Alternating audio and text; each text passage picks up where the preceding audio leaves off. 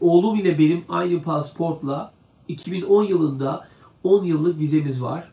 Daha sonra pasaportlarımız ayrı ayrı yenilendi ama vizeler eski beraber kullandığımız pasaportta kaldı. 2019 yılının yaz aylarında oğlum tek başına Amerika'ya giriş yapacak ama vize annesine yani bana ait olan eski pasaportta girişte bensiz bu eski pasaport yanında olsa bir sıkıntı yaşar mı diye takipçimiz soruyor. Şimdi şöyle söyleyebilirim. Tabii ki öncelikle kişiler pasaport yenilenme durumlarında eski pasaportuyla yeni pasaportunu bir yerde tutup tercihlerini yapabilirler. Dolayısıyla yeni pasaportlarında vizeleri yok ise bile Amerika'ya giriş yaparken bu vizelerini kullanabilirler. Tabii sizin durumunuzda özel bir durum var farklılık yaratan. Bu noktada tabii çocuğunuz annenin üzerinden olan pasaportunda vizesi var ve dolayısıyla biraz bu farklı bir durum yaratıyor.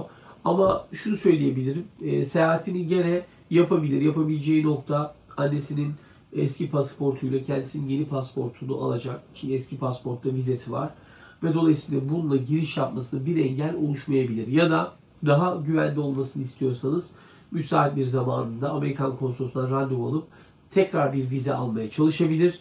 Yoksa var olan durumla Amerika'ya ziyaret etmesinde bir sıkıntı yaşanacağını düşünmüyorum e, deyip bu takipçimizin sorusunu cevaplamış olalım.